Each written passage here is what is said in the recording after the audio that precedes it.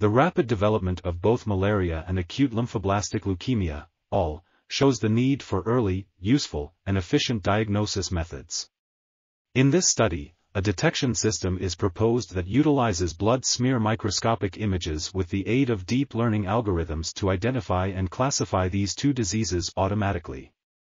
The proposed system has three stages including the pre-trained segmentation applied modified UNet model, the convolution neural network model, and the combining model utilizing perceptron.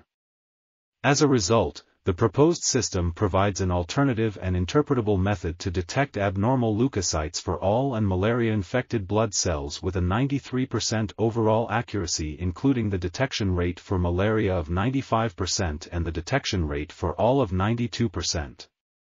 This article is titled A Deep Learning Approach in Detection of Malaria and Acute Lymphoblastic Leukemia Diseases Utilizing Blood Smear Microscopic Images, and was authored by Hoang Vo, Xuan-Hieu Le, Thanh-Hai Le, and others. We are www.rtcl.tv. Check out the video description for links to this article.